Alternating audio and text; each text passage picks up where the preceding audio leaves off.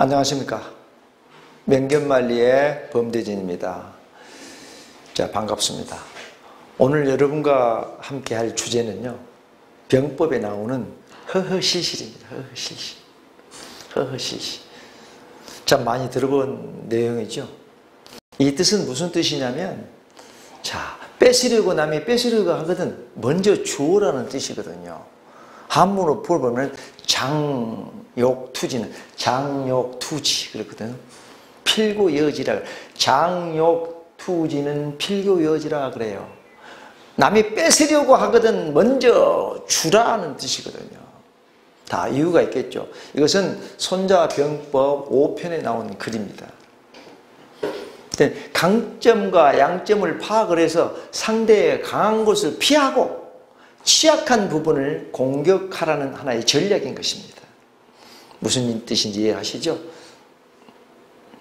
병법 중에는 있습니다. 적이 편안하게 있으면요, 우리는 피로에 지치게 만들어야 되는 것입니다. 이게 전쟁입니다. 또 배가 부르면 어떻게 해요? 굶주리게 만들어야 되는 것입니다.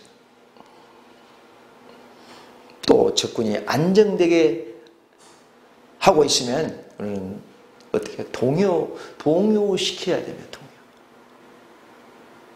또 저기 생각하지 못한 것으로 우리는 공격해야 되는 것입니다. 이게 허허실실인 것입니다. 뺏으려고 하거든 먼저 주라 이런 뜻입니다.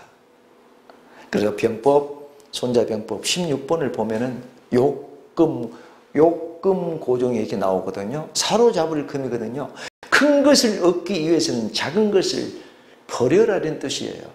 미끼를 던지라는 소리하고 똑같은 거거든요. 그러면 상대방은 굉장히 편안하고 안정이 된다는 사실이요. 우리가 가난한 사람에게 조금씩 조금씩 먹이를 주면 좋다고 하지 않습니까? 우선 배가 부르니까 나중에 어떻게 될지 모르지만 그런 것입니다. 여러분, 축구 경기에서 공격이 잘 풀리지 않을 경우가 있어요. 그럴 때는 어떻게 해요? 공격에서 공격수의 수비를 갖다가 돌리면서 수비를 돌리면서 상대를 끌어들이는 것입니다. 끌어들인 후에 다시 공격을 하죠. 우리 주의 상책 갖고 똑같아. 손자병법 마지막 36번 주의 상책이라. 일단 뒤로 빠졌다가 재정비해서 다시 공격, 주랭랑 했다가 다시 정비해서 치는 거 하고 거의 비슷한 맥락인 것입니다. 씨름 경기도 마찬가지예요. 일부러 어깨를 내줍니다. 씨름할 때 삿바 잡기 전에 어깨를 한쪽 어깨 싸움 하지 않습니까? 씨름하면 어깨를 먼저 잡고 유리하게 잡으면 이기는 거예요. 어깨를 내준 후에 다른 기술을 시도해 가지고 상대의 무너진 중심을 노리는 겁니다. 이해 가시죠? 즉 빈틈을 내주고 빈틈을 공격하는 것입니다. 또 손자병법 13계는 13번이 36계 중 13계 타초경사가 나와요. 타초경사는 무슨 뜻이냐면요. 칠 타, 타초경사 칠 타, 풀 초, 놀랄 경 뱀 사 자를 쓰거든요. 뱀이 풀 속에 들어가 있는 것을 뱀을 잡기 위해서 어떻게 풀을 치고 오면 뱀이 놀래서 나온다 이 말이에요. 그러니까 상대방의 본심을 드러내도록 해야 된다는 것입니다. 이게 허허실실인 것입니다. 금방 병법을 얘기를 했죠. 욕금 고종. 큰 것을 얻기 위해서는 작은 것을 노려라. 그러니까 상대방의 마음을 사로잡아야 된다는 것입니다. 어렵지요? 타처경사 마찬가지예요. 상대방의 본심을 드러내도록 우리를 충격을 줘야 된다는 것입니다. 또 노자가 병법의 비조로 여겨지는 그런 까닭도 이 부분이기 때문이십니다.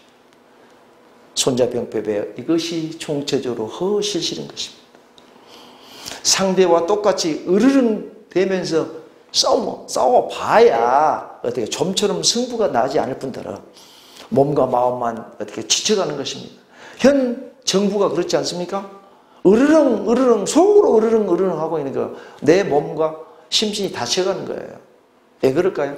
정정, 진정 국가를 위하고 조국을 사랑한다면 한 발씩 물러서서 지는 게 이긴다고 얘기를 했습니다. 아까도 강의를 했지만 지는 게 이기는 것이다. 내줘라. 뺏으려고 하거든 먼저 주라고 똑같은 것이에요.